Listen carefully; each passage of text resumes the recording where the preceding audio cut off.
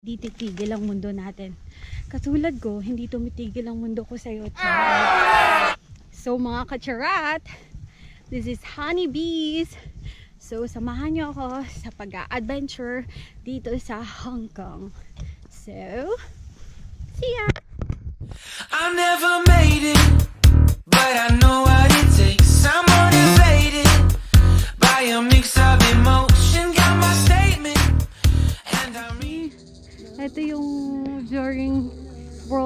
Na bahay. So, merong restaurant dito, guys. Kasi, malapit to sa sea. Ayan. Tingnan nyo.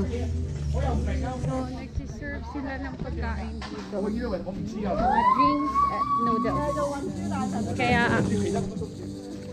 maganda yung psycho. So, didiretso kami sa Shark. Itatry namin umakyat kahit bawal.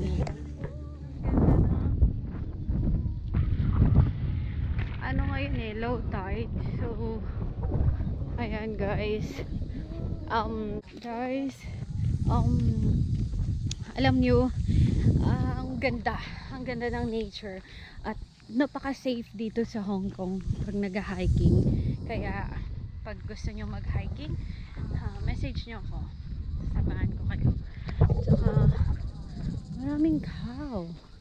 In case of emergency, pindutin mo lang yung red. Look at that! Ah, sa wakas, mapunta sa, mapuntahan ko na yung Shark Peak. Hi guys! So, ayan, ayan, ayan siya. So, malapit ko na siyang maabot. So, one hour po more. Yet dim. Okay? Dinadaanan namin. Medyo galawgaw yung camera. Pero, okay lang. Carry bong mga best. Parang pinasyal ko na rin kayo dito sa jungle area na to. Buti walang, walang ahas. Si best lang yung ahas. Charot. Mga kacharat, hindi naman, hindi naman ako, mabait akong tao sa mabait. Pero, ah, please, huwag niyong abusuhin yung pagkamabait ko, ha? Dahil, kahit anong kasalanan niyo pang gagawin sa akin, patuloy ko pa rin kayong patatawarin. Pero, hindi naman only yun. Yat na kami guys. Katapos na namin mag snacks. Pero yung isa pang kasama namin, tsugi na dun sa baba. Sila. Picture, picture. Yung isa, hindi na kaya kasi medyo foggy sa taas.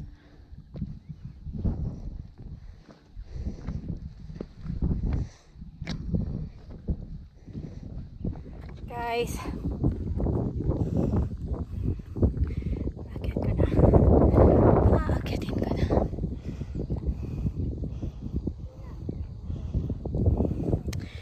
Ay. Naakyat ko nga siya. Sarot. Naakyat ko na siya. Say hi! Hi! This is my Indonesia new friend here in Shark Peak. Black na yung skin ko guys. Pero, sige lang. Tuloy lang ang buhay. Hanggang... Hugoy ah! Two Pengosan. Ooh, where is that? Near Lion Air. You see? Yan. Pagod na yung kaibigan ko. You see? Ang puti-puti ko sa bahay, anim na araw. Puti, puti, Ngayon. puti. Ang puti-puti ko. Can you say, ang puti-puti ko? Can you say it? What you see if there? I say, you are maganda. Indonesia say kabut. Kabut. What is maganda? Kabut is white color come in the air. So if I go Yes, guys.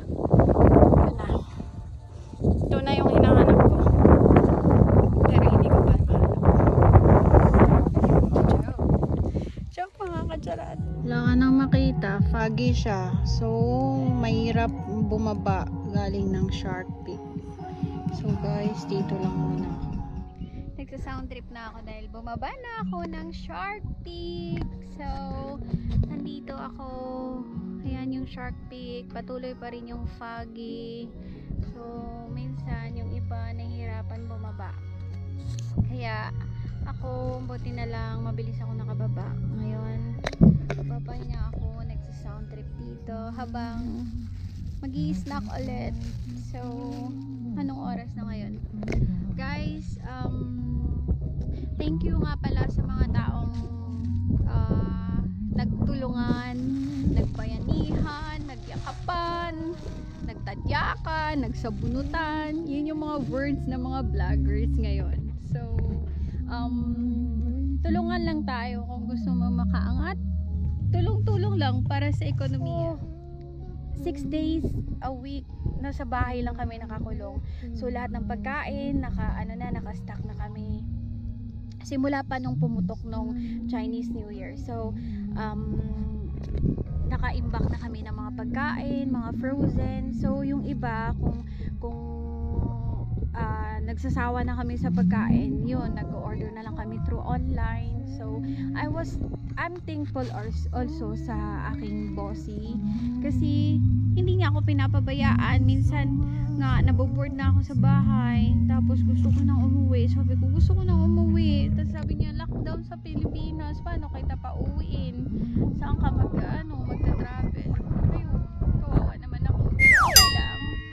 Makapag-antay pa rin ako. Wala, talaga sa mga mga ano sa mga frontliner like firemen, nurse, uh, doctor, uh, lahat ng mga health workers sa Pilipinas um uh, kumbaga sa akin is bayani sila dahil alam nyo kung anong pagwalayan sila, anong mangyayari. Ha? Sana pahalagan din natin sila guys yung kung meron kayong maitulong mga mas, alcohol or uh, kahit pagkain kasi syempre sila yung uh, nasa hospital para asikasuhin yung may mga may sakit, 'di ba?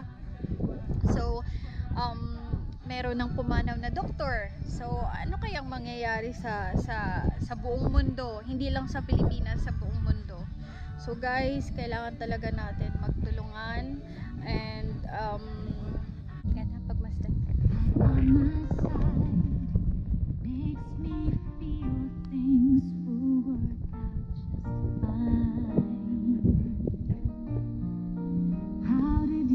So, bumaba na kami ng bundok. Itim-itim ko na guys.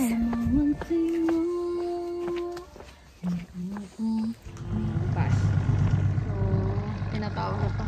Ako ko lulubog ata to. Hindi ah, pagod ako. Say hi to my vlog. Hello. Uh, Philip.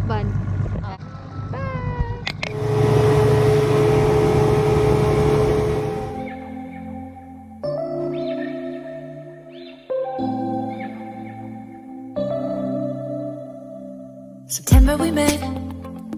I could tell by your smile. You hadn't been with a good girl like me in a while.